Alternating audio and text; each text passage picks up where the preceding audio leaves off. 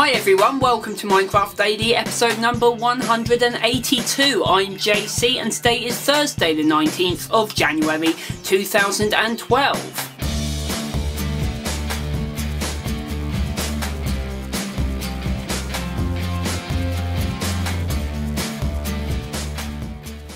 Quickly first thing today, all the Mojang sites were down yesterday for the SOPA protest. If you don't know about SOPA and PIPA, then go and read up on them, it's really important. But of course the big Minecraft news today is the new snapshot. So the jar is now available if you know how to use it and jungles have been added. So that it doesn't mess up old world saves, you have to actually start a new world in order to see jungles. This isn't a case of just generating new chunks like it used to be. I think this is partly due to the fact that there's new trees and all sorts going on here. So if you have the snapshot and you want to start a new jungle world and check it out, I did find a seed earlier that starts you in the jungle, which is jungle is massive all in one word. And apparently 99% of people who've seen my video so far don't seem to get the joke, but I guess maybe the reference is too obscure. Now if you're wondering about tigers and monkeys and stuff, Jon Kågström is apparently going to be adding in some more jungle related animals later, so keep an eye out for those. And on the subject of the mobs, he has also added in wolf breeding,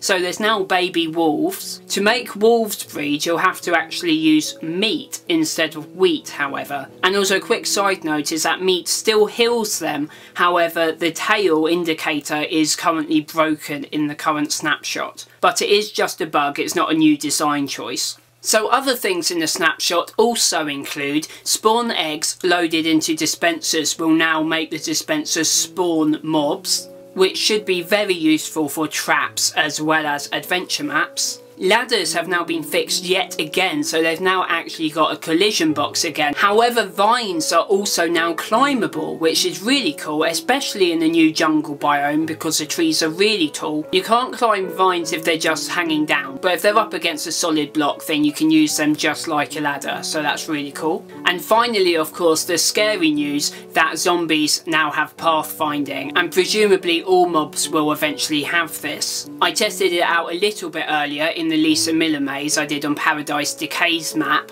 basically found that if I flew to a different part of the maze, the zombie would walk around the maze and actually find me, which is incredible. There does seem to be a limit, luckily. If I really challenged the zombie, he just didn't bother. But I guess in most real gameplay situations where you haven't built a maze, the zombies won't have any trouble tracking you down at all. So the first video today is a new one from Epic Productions and it's called Movies in Minecraft and they must have been really busy making this because there's loads and loads of different movies that they've parodied all in one video. So go and check that out. Then the second video is from Zoomovoid and he's done an animal breeding machine tutorial for 1.1. It looks really nice and there's also a map download if you want to try it out straight away. And then Cube Hamster has made a fully automatic single player game of Mastermind. It's amazing, you press the buttons for the colours that you want and it will automatically display those colours and then tell you how many you've got right and everything like normal Mastermind does except you're literally playing the Redstone computer not another player. So that's really really cool and is available for download if you want to play it yourself. Then Less in the UK has done a really nice steampunk airship. There's a time-lapse video and a tour video. I think I'll link the tour video. So it's really detailed and I didn't even realise that the thumbnail was Minecraft. It's that good. And finally, KWR426 has done yet another really cool animation called A New Day. So I will link that in the description as well.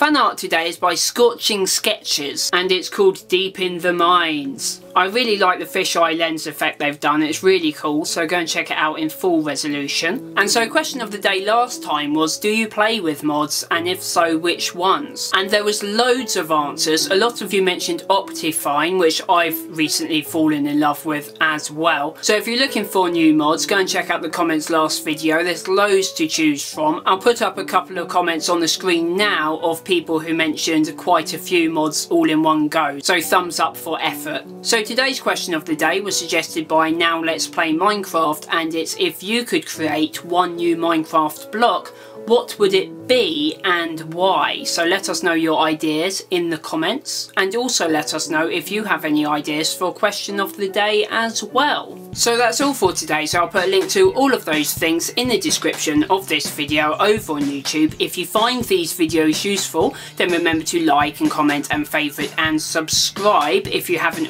which you can do by clicking this button up in the corner here. And also share these videos with any of your friends who you think might find them useful as well. And you can also follow me on Twitter, links in the description as well. And I will see you tomorrow.